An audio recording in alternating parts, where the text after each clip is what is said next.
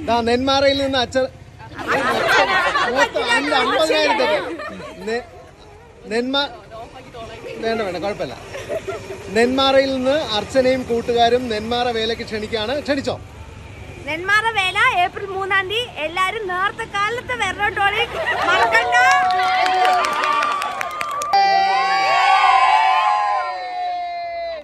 അപ്പൊ നെന്മാറ വേലയ്ക്ക് കാണാം. ഗുയിസ്.